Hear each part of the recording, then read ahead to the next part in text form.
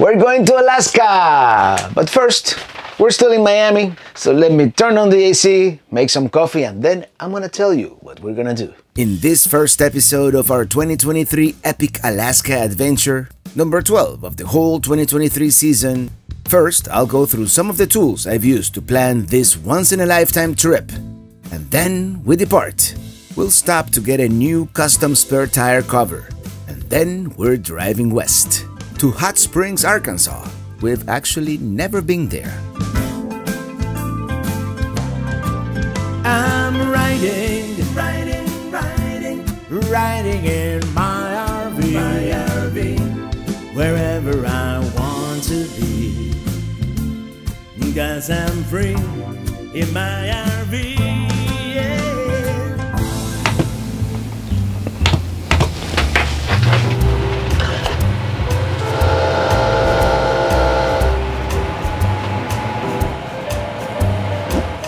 Before I forget, a couple of days ago I got not one but two new sticker maps for Minitini 4. Because what fun is it to have a full map, so we're gonna start a new one.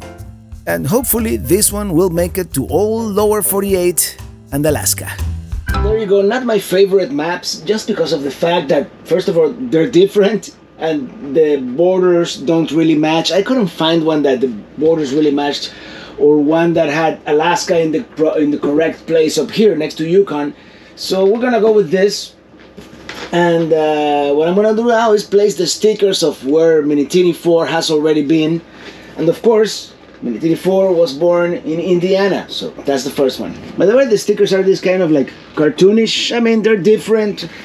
I don't entirely dislike them, but uh, and I'm sure that they'll, they'll, they'll grow on me. It's I was gonna do some stuff outside, but it's it's it's raining out there. It's uh, it's summer in Florida already. Okay, Minitini 4 first campsite after Indiana was Cumberland Falls in Kentucky. Then we went to Margaritaville in Pigeon Forge, Tennessee.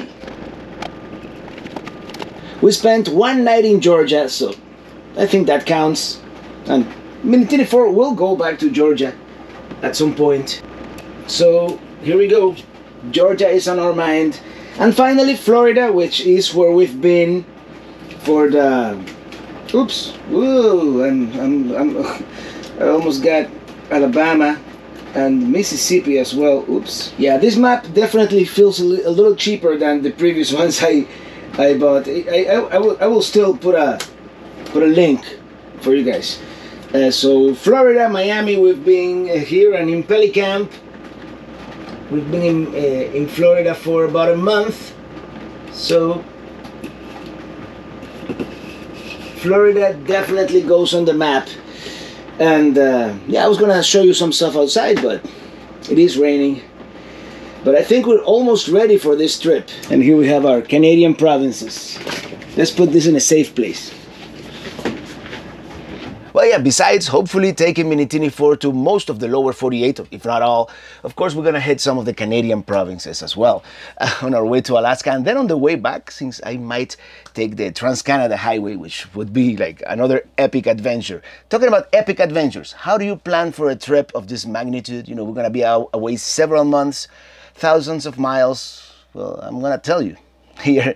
But first, there's something you haven't seen yet. As you may have noticed, we have a brand new RV mattress by Brooklyn Bedding, and yes, they are this week's sponsor.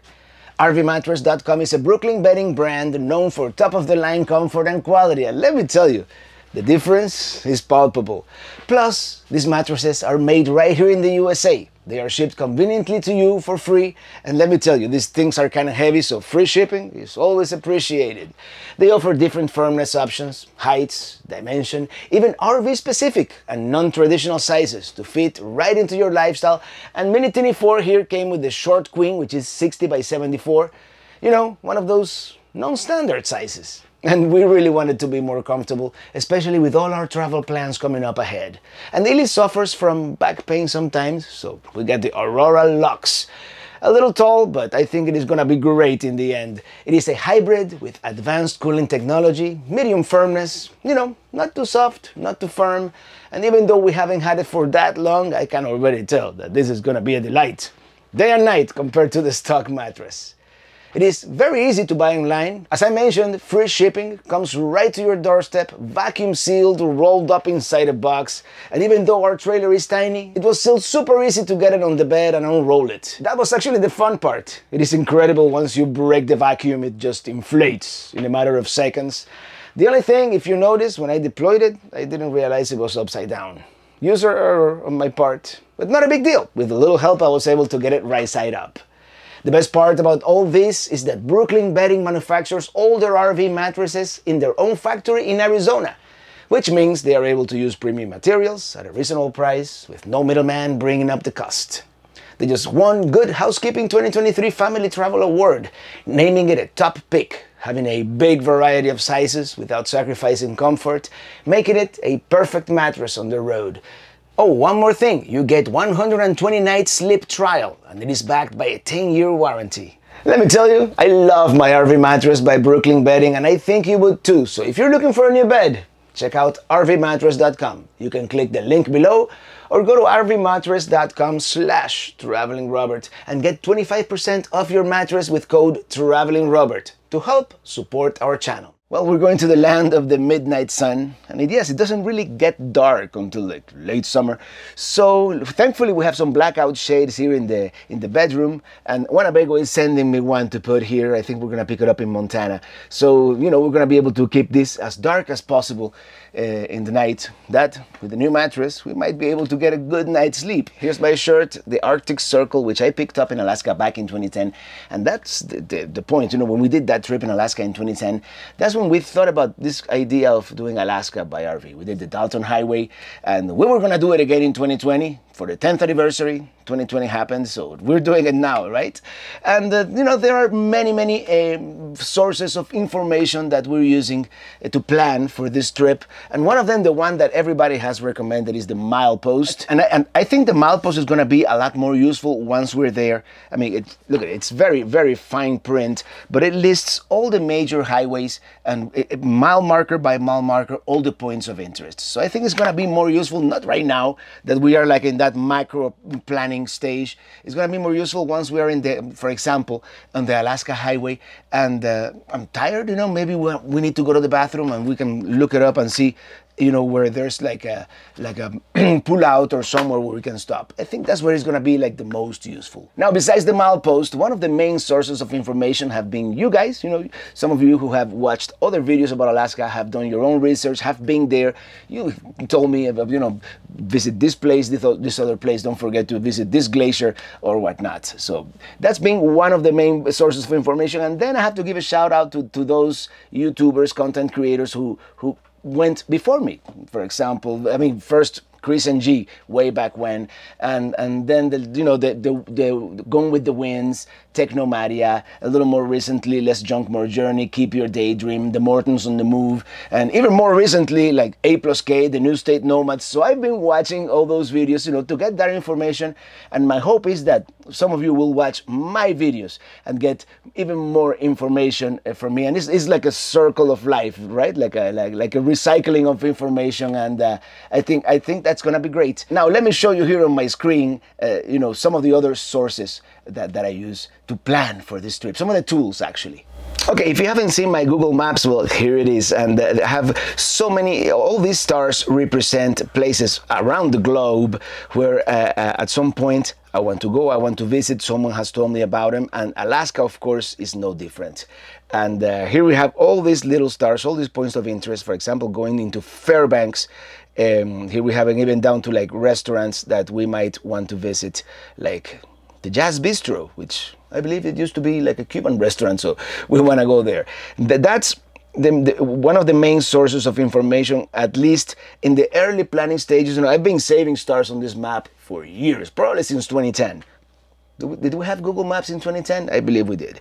Um, now, the next tab here that I want to show you is Roadtrippers. And Roadtrippers has a very cool thing.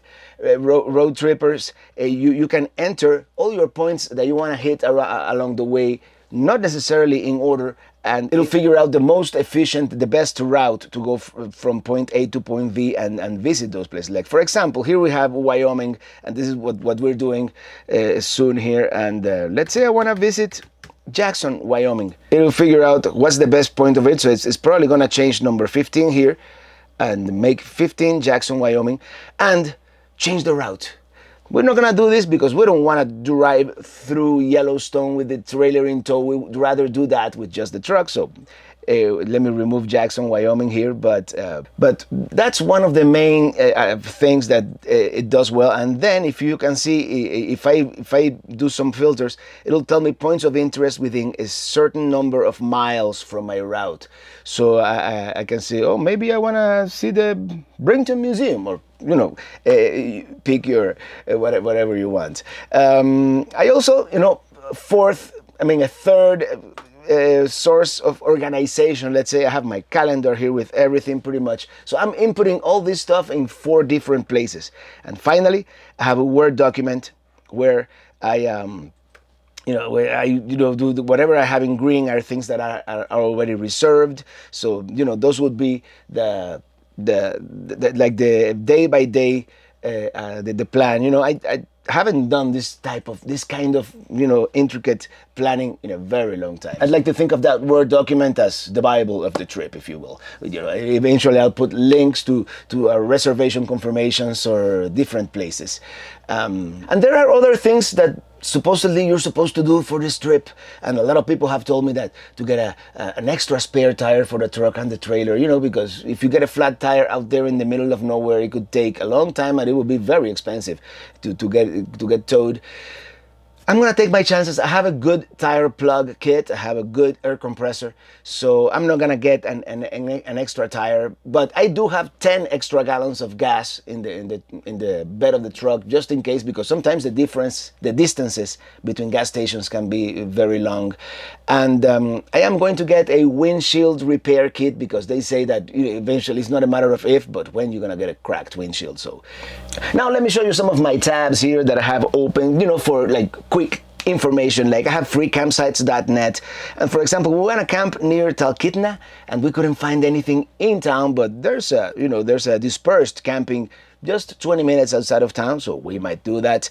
Um, what else do I have here this is very important because there have been some wildfires in the in the Canadian Rockies. So I have my my smoke map, you know, to see the forecast, see if maybe we, we need to change our route. You know, it's it's one of those things that in, in this time of the year is important. Here we have the Chris and G Travels uh, blog, which is not as useful anymore because Chris deleted all his uh, videos from YouTube, but still there's some information there.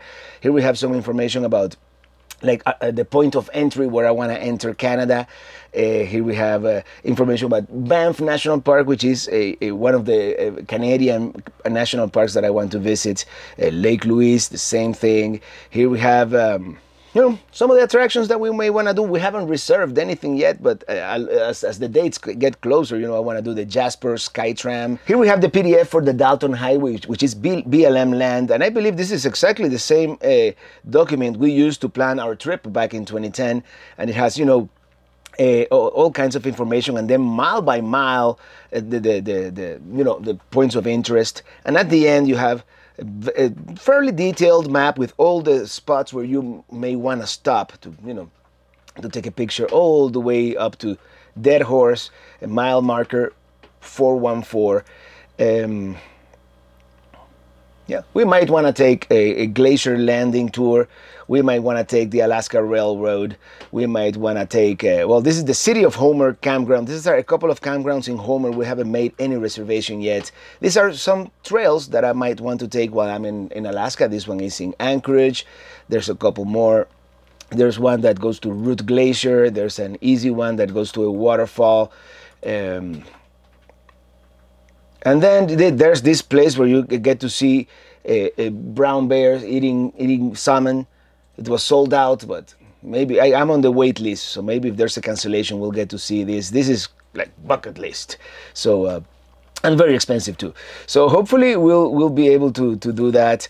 Um, another sky tram, the Alaska uh, sky tram. You know, there's so much to see on this trip, uh, kayaking tour. That is, it's kind of overwhelming, but uh, uh right now I kind of have a, bird's eye view of the, what the trip is going to look like. Now, even with all this planning, I'm sure we're going to let chance and serendipity take a turn at the wheel from time to time because what's the fun, you know, in having everything planned down to the T.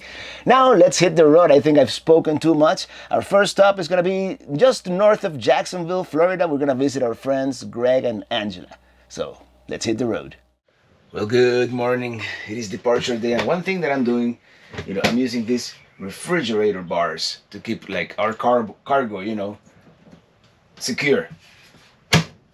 I'm not fully awake yet. And I'm kind of afraid to, to, to leave the monitors up. I don't, I don't think this table is gonna withstand the weight, so we might put them on top of the bed for now. Well, here we go. If the command hooks hold, this will be a great success. I mean, it's pretty sturdy with the with all the bungees in place. We'll see. With the fridge, we're gonna do the same thing and put refrigerator bars everywhere, you know, to keep everything in place as much as possible. Well, anchors away. Today we find out if my faith in command strips and heavy duty Velcro is justified. On the road again.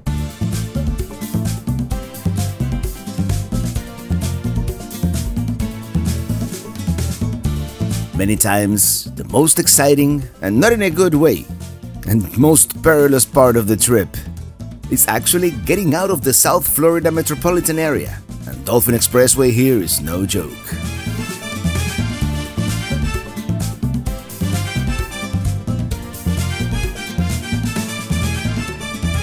They've been building this double-decker over the Miami River since... nobody seems to remember. At this pace, I don't think the Alaska Highway could have been built in this day and age. There's loanDepot Park, where the Miami Marlins play. Can we go back to the days when stadiums were named after the team that played there? loanDepot doesn't really roll off the tongue, but then again, we also had FTX Arena, ever so briefly. Anyway, I digress. I 95 North pretty clear on this Tuesday morning. 95 South, on the other hand, is a parking lot. Everybody coming into Miami at this time of the day.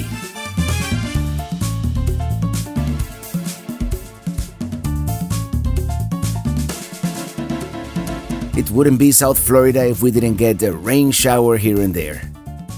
Approaching the Fort Lauderdale airport, here's one of those things you can't really plan for, nearly impossible to time. But when it happens, it's really cool like a Southwest Airlines airplane landing right in front of you. We get into a little more traffic as we approach downtown Fort Lauderdale.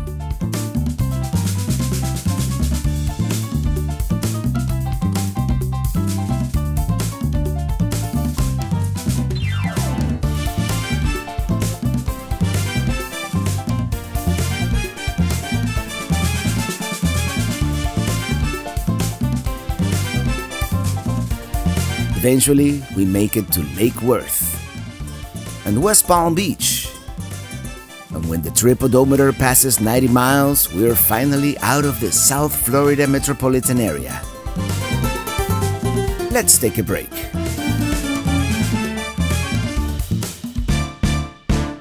Well, we've made it to the Martin County rest area. Let's see how everything fared inside uh, Minitini 4 after our first segment of the road. This, but by the way, the, the closest rest area, the first rest area as you get out of the South Florida metropolitan area. Let's take a peek inside. It looks good. I mean, the only thing, you know, the weight of the of the monitors, they came all the way down to touch the table. I mean, they have nowhere to go but down there, and uh, I mean, the good thing is that they stayed in place, you know, the, the, the bungees held in place, so we'll take it one bumpy road at a time, but I think this is gonna work. There's no other way to put it. No matter which way you go, it is a tedious drive escaping the southern tip of the Florida Peninsula. We do have our occasional downpour, which provides some unwelcome excitement, or a wreck, which is bad for everybody.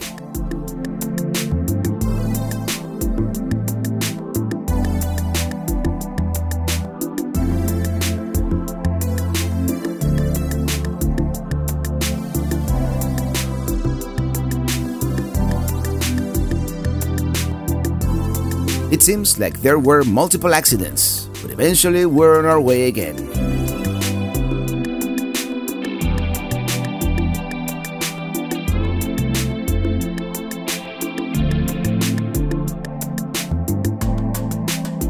Jacksonville, Florida's most populous city, is a welcome sign that today's journey is nearly over.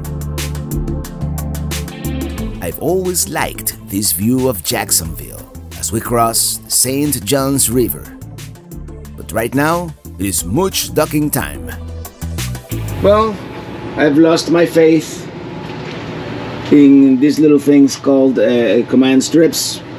This one failed, and uh, we don't have a bungee cord anymore. Luckily, everything stayed in place, so uh, we may have to eventually open a hole here and put like an eye hook, but that's a task for another day. For now, I'm just gonna remove the monitors, put it on top of the bed, and and it was a good idea. It didn't work. Now, does anybody know if these walls will support an eye hook? So, because that will work. Uh, anyway, for now, we're removing the monitors for travel until we figure something out. Well, since Minitini 4 came with a sticker here, I cannot put my free My RV sticker there, but look what we've got.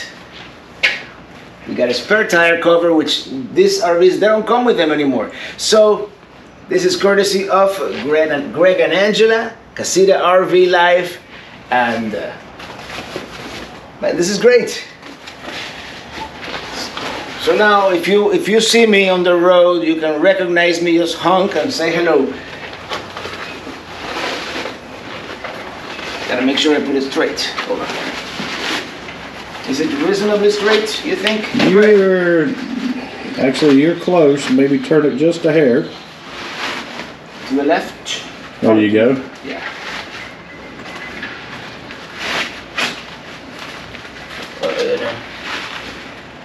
Uh, Hopefully, I won't have to take it off. Well, let's hope you don't. You've got a good trip coming, so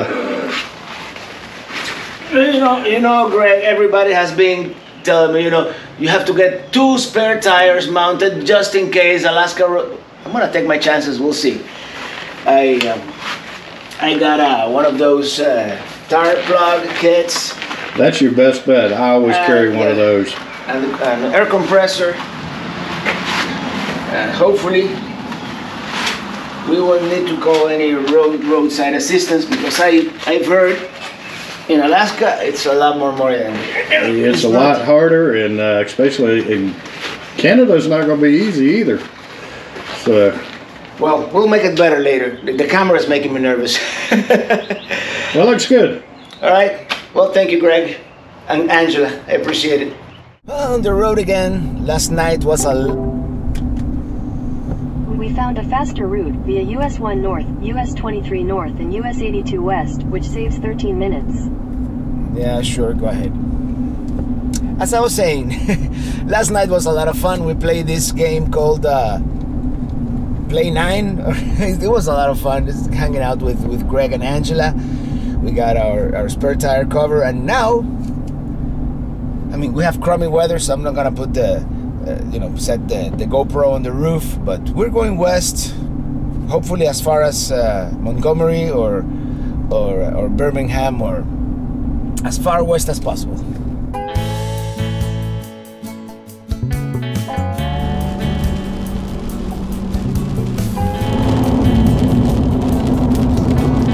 Crossing the St. Mary's River. Georgia. Welcome to Georgia. Oh, thank you. The plan is to drive west all the way to the Rocky Mountains and then start heading north. All this taking some of the less trafficked roads. Driving to the west, into the sunset,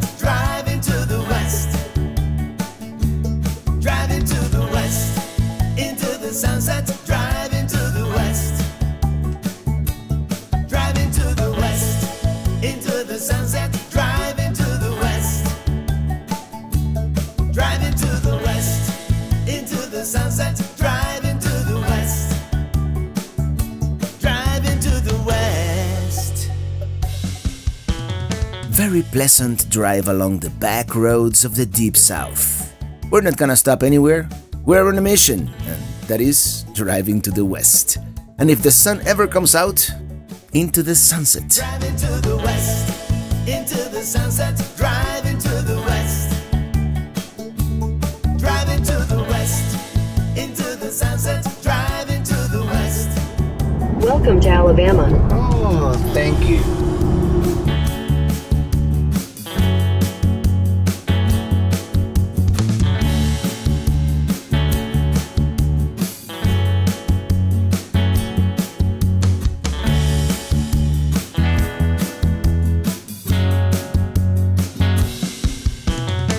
Even though today is going to be mostly a travel day, we are going to drive by Montgomery, Alabama's capital and a very historic city.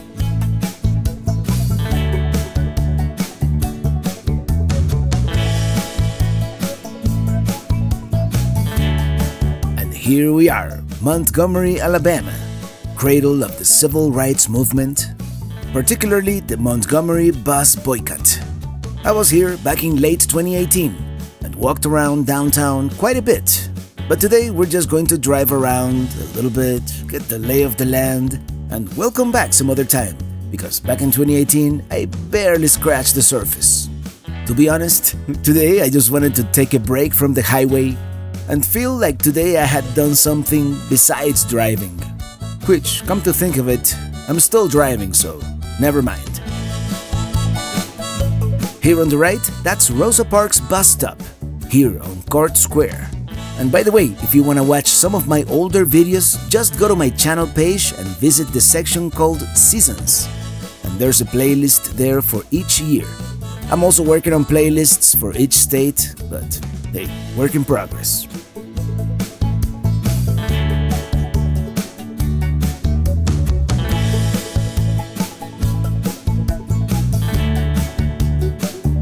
Here on the right, Dexter Avenue King Memorial Baptist Church, where Martin Luther King Jr. preached from 1954 to 1960.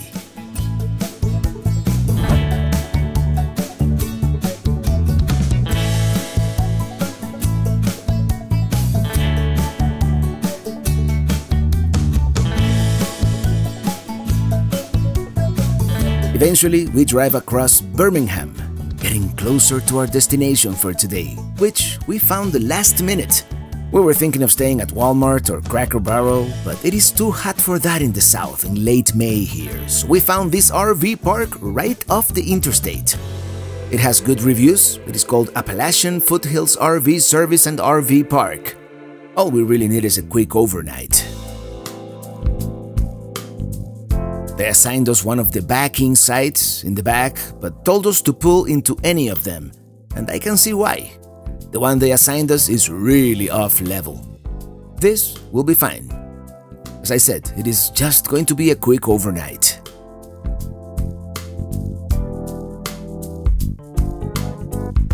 I'm tired. It's been a long day. Well, this place has got a lot of potential. It is just one mile from the interstate, and it's part of like um, like an RV repair center, like a service center.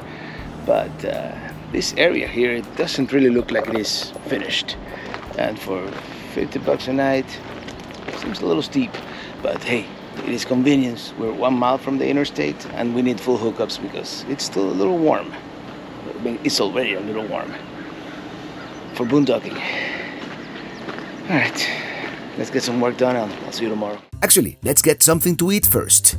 I've got some beef kielbasa, so we're going to saute those. I'm gonna chop an onion.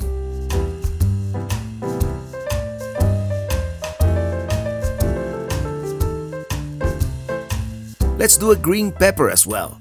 Actually, let me flip them over so they get browned on both sides.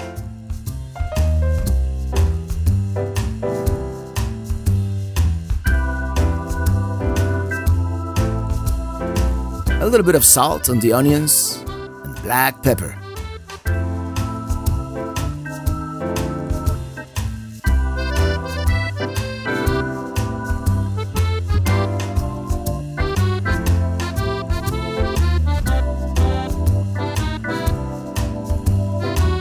Garlic everything is good with garlic. I'm going to mix a little bit of marinara sauce I have left over with some dry cooking wine, this is going to caramelize so beautifully. Cayenne pepper, of course, to give it a little kick, oregano, cumin, and today I'm feeling adventurous, so I'm going to add a little bit of turmeric and move it around. Some black olives, because why not? This would pair beautifully with some red wine. Yeah, we got these unbreakable wine glasses. Let's see how long they last. Well, first, RV cooked meal of the trip. Cheers. Well, sunset is upon us. They have this other section that is much nicer, but ours seems like a work in progress.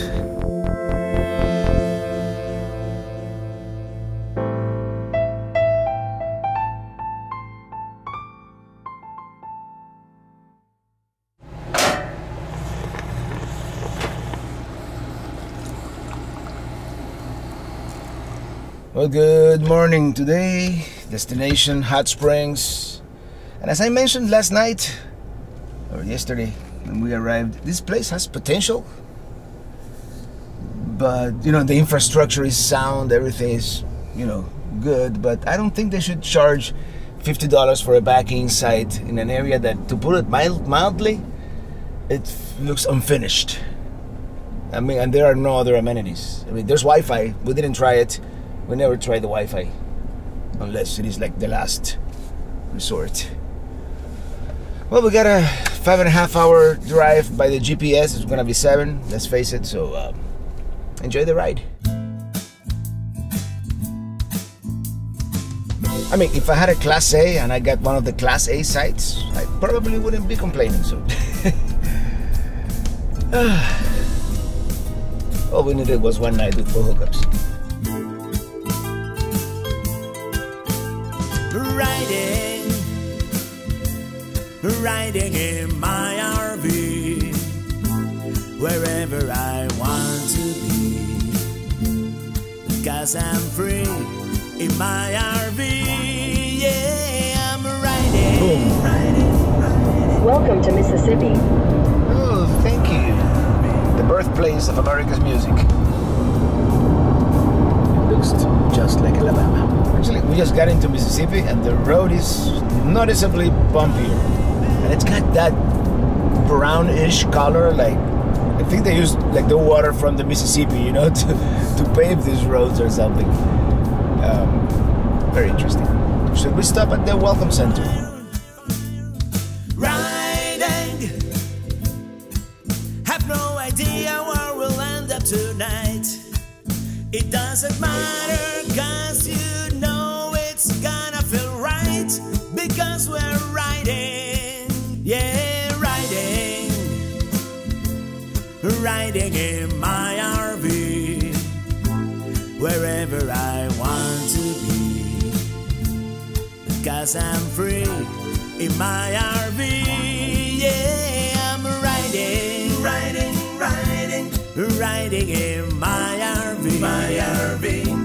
Wherever I want to be.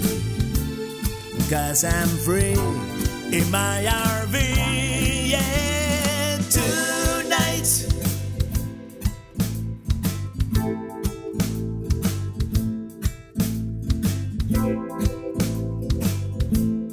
On the next one, we are going to visit Hot Springs, Arkansas, as we continue our journey to the west, all the way to the Rocky Mountains, and then north to Alaska. Until then, thank you so much for watching, and see you on the road. Yes, I am riding.